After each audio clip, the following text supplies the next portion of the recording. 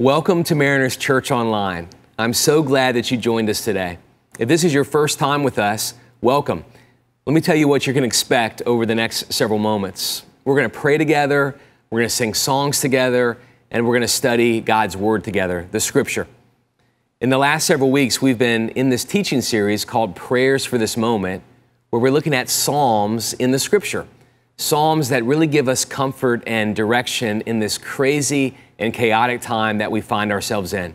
And so we really hope that you'll be encouraged and inspired today to follow after Jesus. Inez is going to open us up in prayer. Psalm 63 7 says, Because you are my helper, I will rejoice in the shadow of your wings. It is my heart as we begin this service that God would give us a heart of worship, even in this time of struggle. Let us pray. Heavenly Father, we are so grateful for your presence, that you are indeed our helper. In this time of unknown, in this time of challenge, in the time that already so many of us have lost some things, Father, some have lost their jobs, some, Father, are fighting for their health. I pray, oh God, that you would remind us in all the ways in which you are present in our life, all the ways you have already helped us, and all the ways you have made promises to us that you will keep. Lord, would you give us a heart of worship? Would we wake up in the morning and would you put a song in our hearts that we wake up singing, oh God? When we experience bad news, would you put in our minds and in our mouths, first and foremost, a praise and a worship to you? Would you lift up our hearts to trust you in this difficult time? You, we have nowhere else to go, oh God. You are our only provider. We thank you and we praise you in Jesus' name.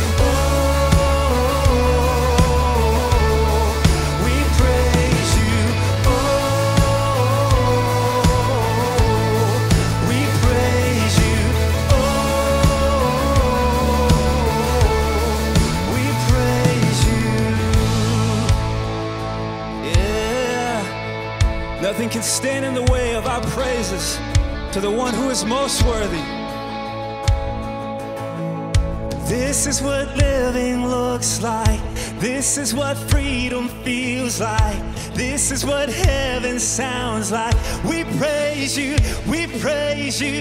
This is what living looks like. This is what freedom feels like. This is what heaven sounds like. We praise you, we praise you. Yeah, this is what living looks like. This is what freedom feels like. This is what heaven sounds like.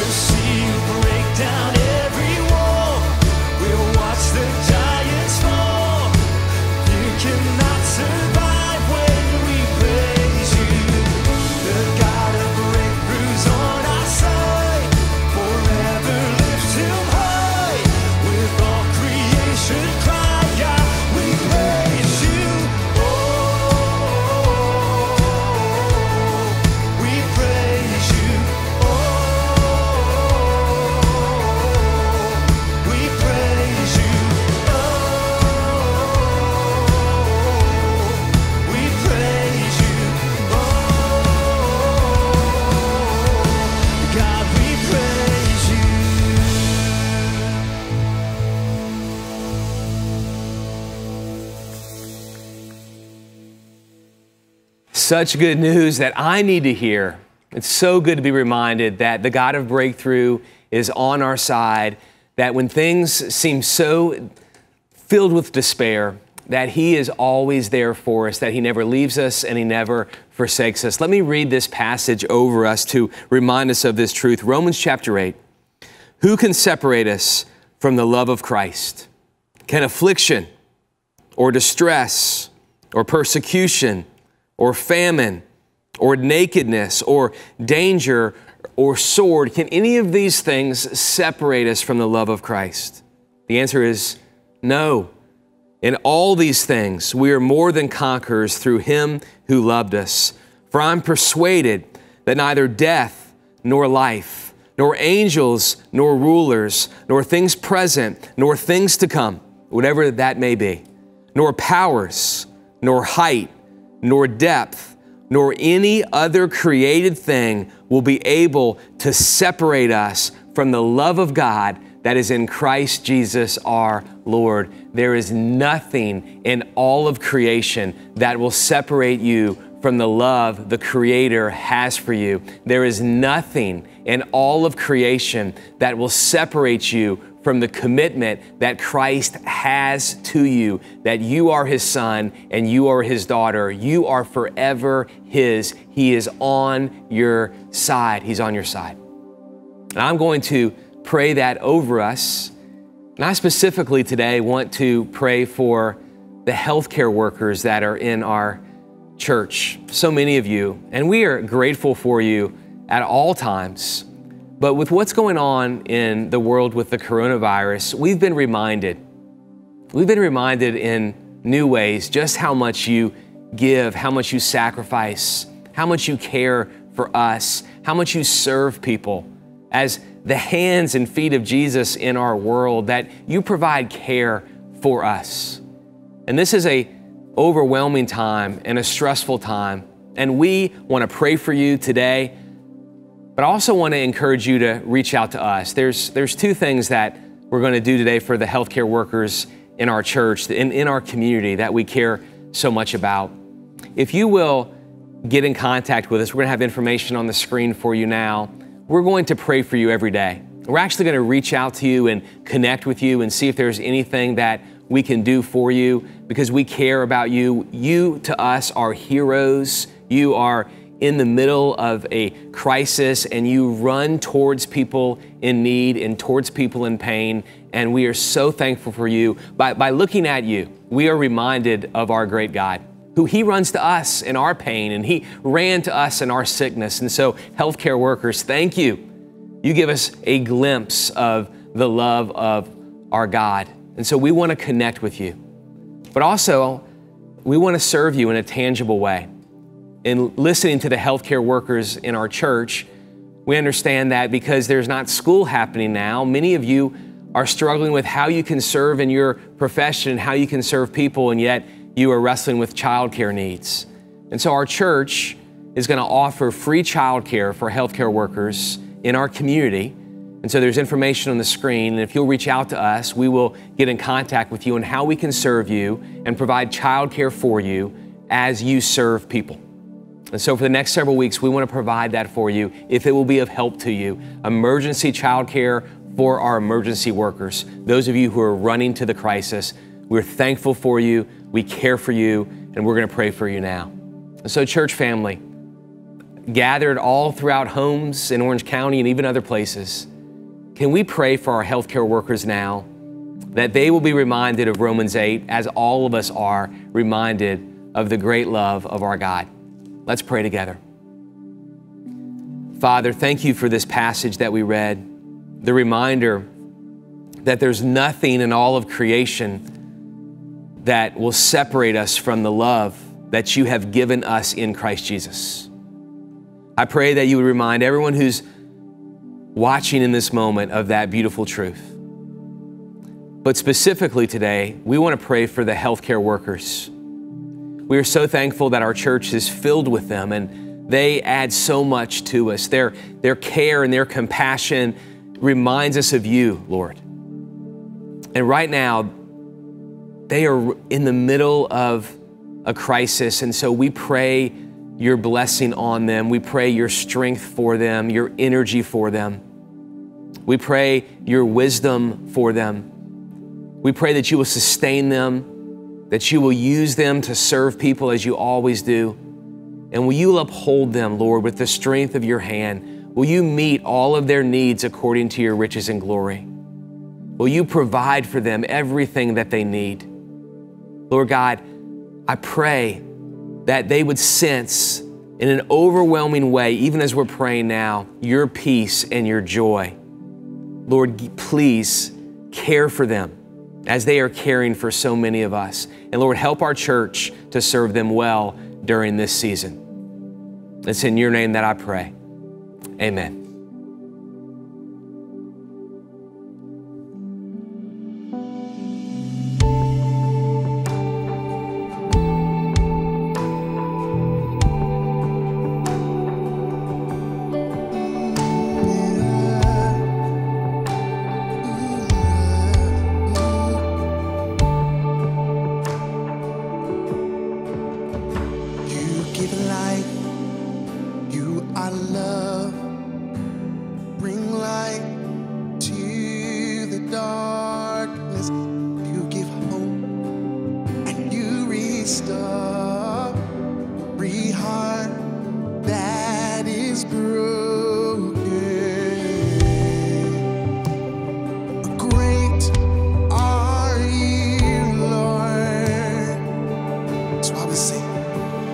will you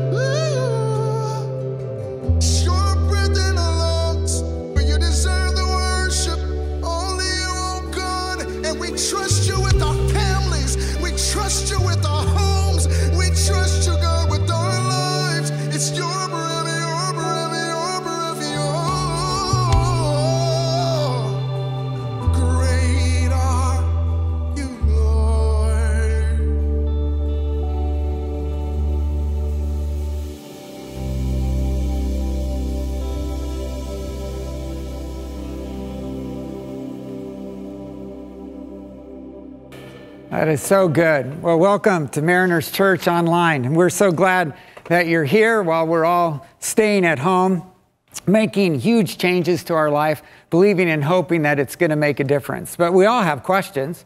This week, I got to spend time on conference calls with pastors all around the nation, and they had huge questions. And they're going, What do we do at times like this?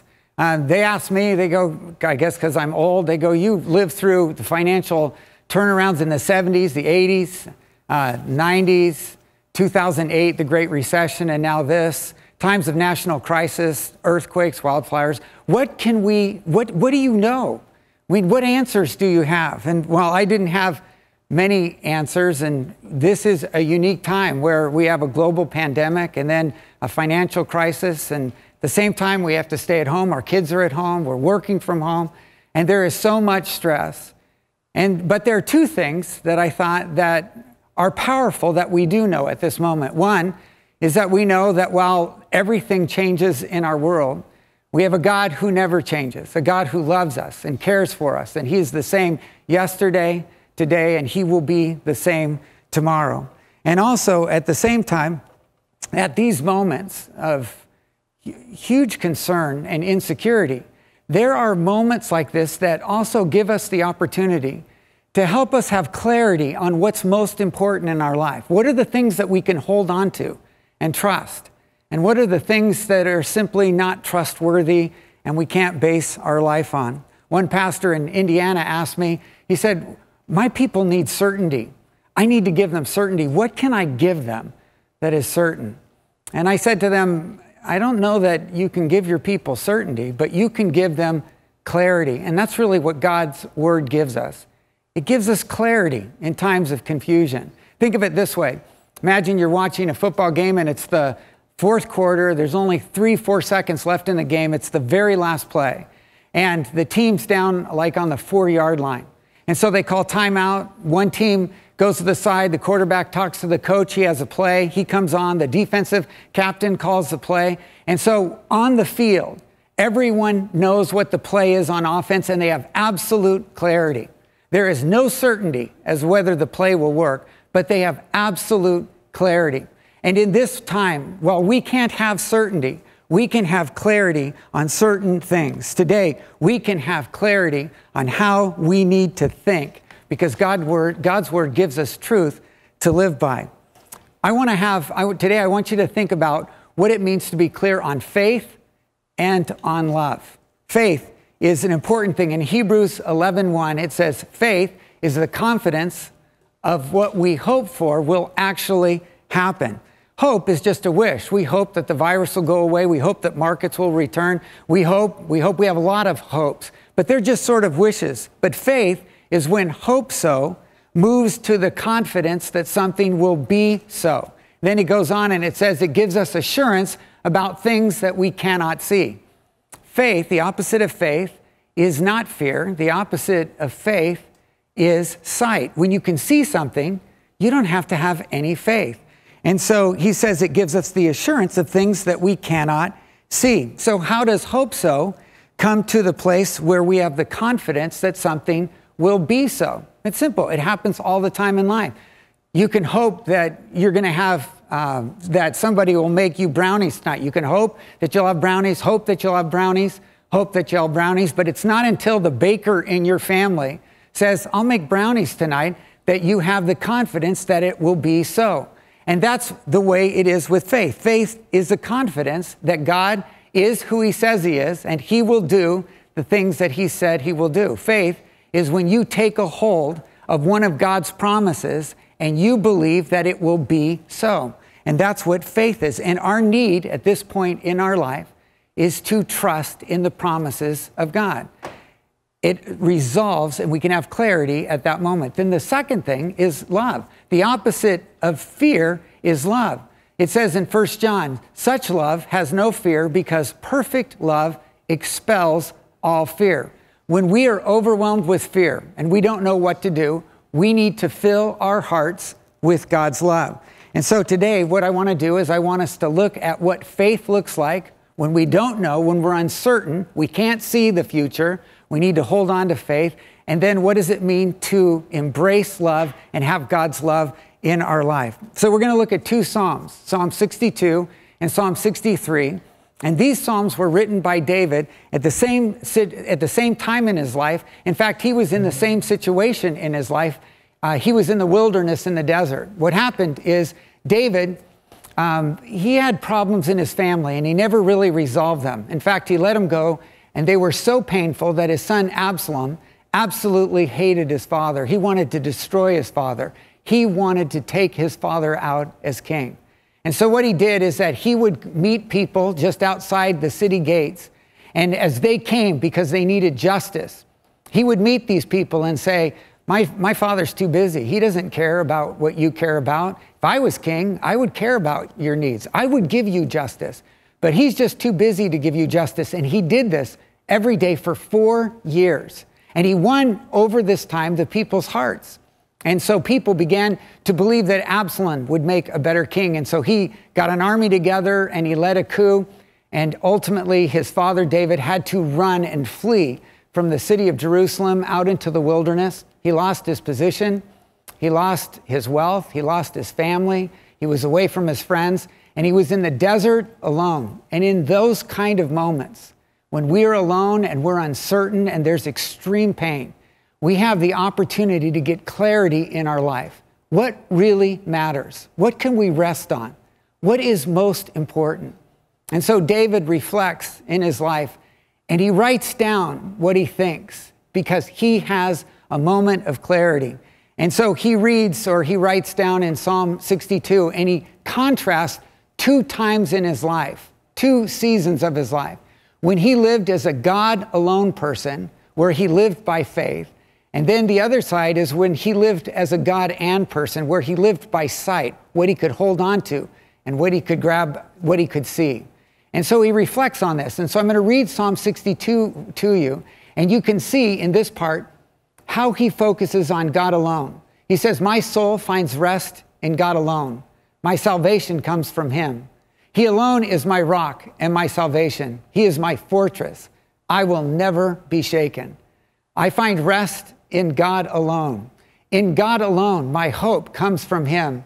He is my rock and my salvation. He is my fortress. I will never be shaken. My salvation and my honor depends on God alone. He is my mighty rock, my refuge. Trust in him at all times, O people. Pour out your hearts to him, for God is our refuge.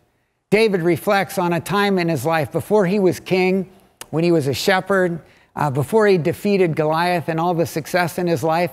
And he says, In those days, I was a God alone person. My soul found rest in God alone. I trusted in God alone. Uh, I was unshakable. I was clear uh, that God was in control and that I could trust Him, that He was loving and that He was good. And he said, I remember in that time of my life, God promised that I would be king. And for 20 years, I waited for God to fulfill that promise. And even though there were good times and there were extreme bad times during that season, I trusted in God. And even when I had the opportunity to take out King Saul, that Eric talked about two weeks ago, he said, I didn't take it because I was willing to trust in God's timing and that God was good and He would take care of me and provide for me. And in those days, I had the freedom of trusting in God. I lived with peace and security. There was no worry or anxiety. But he said over time, and I'm not sure even how I did it, but I began to trust in the things that I could see. I began to trust in God and my wisdom, trust in God and in my desires, trust in God and my timing. I wanted things when I wanted them. And the results were in my life, David said, he said, I became nervous and anxious. I became impatient and I began to cut corners and I compromised. And the result in my life of trusting in myself is that there was heartbreak and defeat and instability, and I brought so much pain into my life and to other people's lives. But he says in this psalm, when I was a God alone person, he says, God alone was my rock, my salvation, my fortress. He was the place of safety. He goes, I felt secure. I trusted God. I would go up against a giant like Goliath, and there was no problem. I had no doubts because I knew that God was with me. And in those days, my heart would burst with worship. I would say, The Lord is my shepherd, and so I had everything that I needed. He leaded me, He led me beside still waters. He led me into green pastures and he restored my soul. He guided me in the path of righteousness for his namesake. And even when I went through the most challenging and frightening moments of life, because I wasn't afraid, because God was with me. In those days, I was a God alone person and I felt safe and secure. I trusted in God alone. But as he reflects and he says, but over time, he says, even without thinking, I began to trust in things that I could see, and I became a God and person. I trusted in God and the size of my army. I trusted in God and the size of the walls of the city that I had built. I trusted in God and my accomplishments, God and my wealth. And as a result, he says, and really he was surprised. He said, It surprises me that this God and approach to life made me insecure and unstable. And when I faced challenges, I faced giants, I was overwhelmed with fear and I was frightened and I tremble. Says, when I was a God alone person, he says, I would say that God alone is my salvation. My honor comes from him. He delivers and he is my hope. When I lived as a God alone person, I, li- I lived to please God alone. I knew that all of my honor came from God. But over time, I became a popular king and I was recognized, and there was fame that I had. And the applause of people slowly began to change me. At first, it was something that I enjoyed, but then it was something that I wanted, and finally, the applause of people became something that I needed. And I lost sight of what was most important. And as a God and person, I wanted to please God and I wanted to hear the applause of people. And I got neither. And as a result, I was destroyed. And you can hear the pain in his life in Psalm 62. Look at what he says. He says, So many enemies against one man, all of them trying to kill me. To them, I'm just a broken down wall or a tottering fence. They plan to topple me from my high position. They delight in telling lies about me. They praise me to my face, but they curse me in their hearts. Common people, it talks about poor people are worthless. They're just a puff of wind. Powerful people, rich people, uh, they're not what they appear to be. But if you weigh them all on a scale together, they're just like the breath of the air. He says, Don't make a living by extortion or put your hope in stealing. If all your wealth in- increases, don't make it the center of your life. He speaks with conviction at this point in of his life. And he's saying, I've discovered that to live as a God alone person is the only way to live. And then finally, he concludes the psalm this way He says, One thing God has spoken, two things I have heard that you, O God, are strong, and that you, O Lord, are loving. He says, I am going to live as a God alone person and trust that God is strong and God is loving. And you know, when we read this psalm, every one of us could write psalm, this psalm in our own words because we've all lived this life. All of us have uh, lived in a season of our life where we lived as God alone people, and we would say, God alone, my soul finds rest in God alone. That I trust in Him. I trust in Him with my future. I trust Him with my family, my health, my wealth. I trusted Him in every area of my life. I was convinced that He was powerful. I knew that He was loving, and I could trust Him wherever. And as a result of that, I experienced freedom and peace. There were seasons in my life where I said, God alone is my rock, my fortress. He is a good shepherd that will take care of me and provide for me and love me. And I can trust him even in the most difficult and challenging moments of life. Whatever giants I faced, I would trust in God alone. And that I was so radically secure in his love that I would hold on to his promises in the most difficult moments in life. But all of us could write, just like David did, that second stanza where he says, But you know what? I became a God and person. I began to trust in God and my wealth, trust in God and my resources. I thought that I could love God and love this world, that I would want to serve God and I would want to serve myself and my selfish desires. I would want to please God, and I thought I could please others at the same time. And I found out exactly what David did that a God and lifestyle only leads to pain and sadness and destruction. In 2 Corinthians, it says, So we don't look at the troubles that we can see now. See, that's sight, and it only overwhelms us. Rather, we fix our gaze on things that cannot be seen. For the things that we see now will soon be gone, but the things that we cannot see will last forever. And David says in this psalm, There are two things that I know. I know that God is strong and I know that He is loving. And in this moment, this tragic and difficult moment in his life, he takes a hold of these two truths and he has clarity. And you know, one of the things that I think that you could do today, and I did all of this week, is literally write this psalm in our own words. Because I think what made it powerful for David isn't that he just thought this psalm, but he took the time to write it. And in writing it, it developed that conviction in his heart and brought that clarity. And you could write this psalm. All of us could write this song that later today you could just use Psalm 62 as an outline. The first stanza is that my soul finds rest in God alone. How would you put that in your own words? That God alone is my rock, my refuge, my safe place. That God alone is the one who saves me and delivers me. And when you think about those seasons in your life, you'll remember how trusting Him gave you confidence and security, that you felt, you felt like you were in the right place because you were trusting in God alone. But in the second stanza, all of us have seasons in our life where we became God and people. We said, I trusted God and my wealth. I trusted God and my business. I thought God and all of these things in life. And as a result, I was insecure and I was anxious and I lived a worried life. But David says, and we can write as a conclusion like David did, but there are two things that I know. I know that God is good, and I know that God is powerful. He is loving. And these two things, we can have clarity even in the most uncertain times in our life. And then David not only wrote Psalm 62 when he was alone in the desert, but he also wrote Psalm 63. And when he focuses on Psalm 63, he's really focusing on God's love. He says, Oh God, you are my God. I earnestly search for you. My soul thirsts for you. My whole body longs for you in this parched and weary land where there is no water. David realizes when he's in the desert, there is no water that can quench the thirst of his soul. And so he goes on, he says, Your unfailing love is better than life. How I praise you.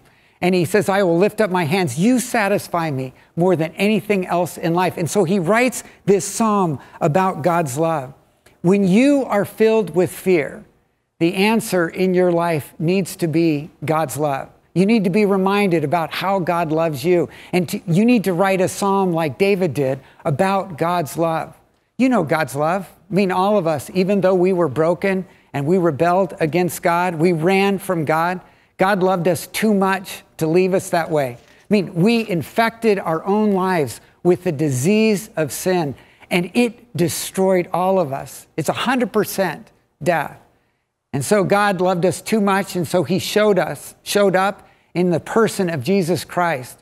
And He became like us, so He understands what it feels like to be alone, to feel lost, to have unanswered prayers, to feel insecure and weak.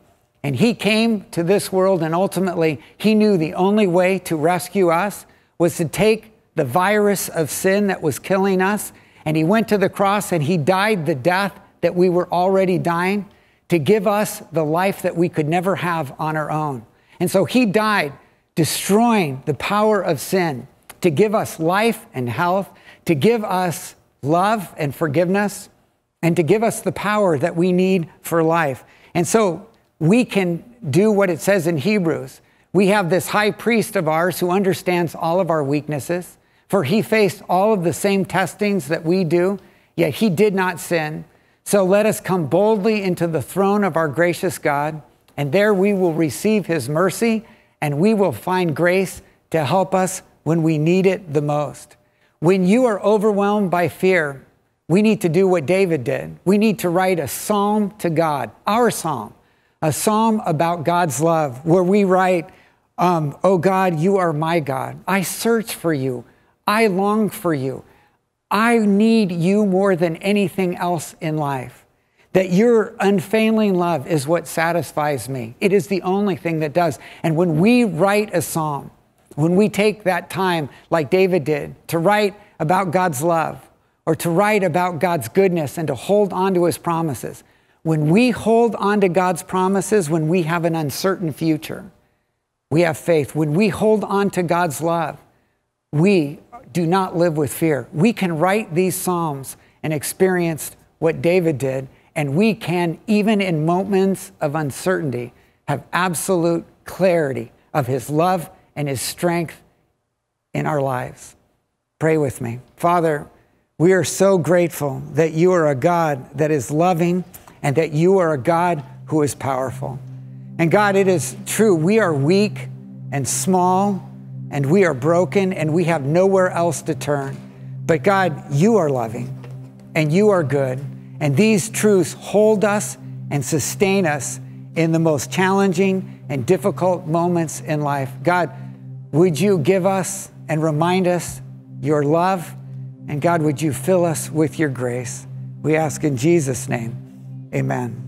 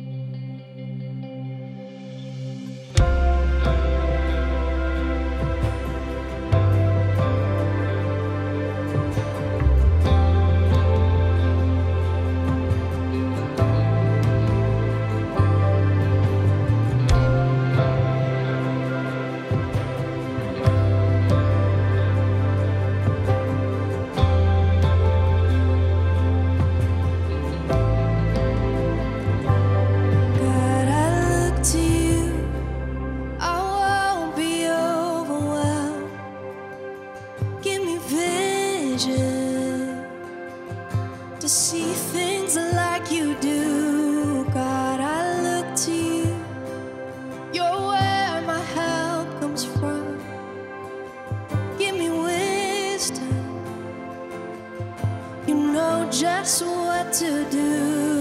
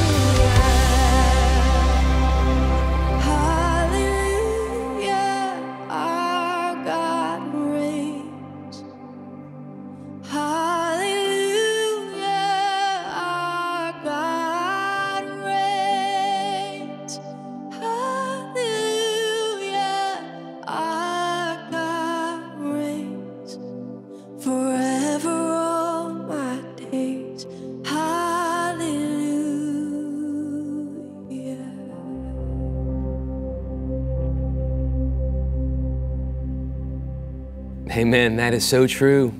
Praise the Lord. Hallelujah. Our God reigns. In a moment, I'm going to pray a prayer of blessing, a prayer of benediction over you. But at the end of our services, typically when we gather physically, we always mention, or we mention regularly, that we have offering boxes on your way out, and we thank those of you who give. And we don't have offering boxes now because we're not gathering physically. So all of our giving has needed to move online. And so if you're a guest with us today, we, we are not asking you to give. But for those of you who Mariners is your church home, on the screen there's going to be text to give options. And I want to invite you to give so that the work of Christ through your church can continue. And for some of you, you you have carried our church in the past with your giving, and you are going to be unable to give as freely as you gave in the past because your job has been impacted in recent months and recent weeks. And I want you to know that you should feel no guilt for that at all because the scripture says that our giving should be in proportionate to our income. And so if you have less income now, I, I don't want you to feel guilty as you can't give as you've been able to give in the past. But for some of you, uh, your income hasn't been impacted. And I want to encourage you to continue to be generous to your church. And, and there's others of you, you've come into the Mariners family in the last six months or a year, and you haven't yet jumped on the journey of giving. And I want to encourage you to jump on board with giving. There, there's people who've carried Mariners Church in the past who are in a, in a season where they're going to be unable to give as they've given. And so we need some of you who are new to our church to and are able to give for you to step into this journey and to give generously. And so you'll see the text to give options on the screen. Well, let me pray a prayer of blessing and benediction over you as we leave. Will you extend your hands and I'm going to pray for you?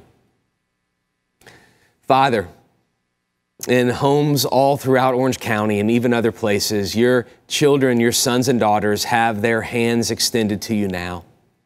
And I pray that this week you will replace in their hearts their worries with your peace, their anxiety with your joy, their fear with your faith that you love them. I pray that you will bless them and keep them. I pray that you will meet all of their needs according to your riches and glory. I pray that they will sense your presence in their lives this new week. Cause your face to shine on them, Lord. Keep them, bless them, take care of your children. In the name of the Father, the Son, and the Holy Spirit. Amen. Amen. Go in peace.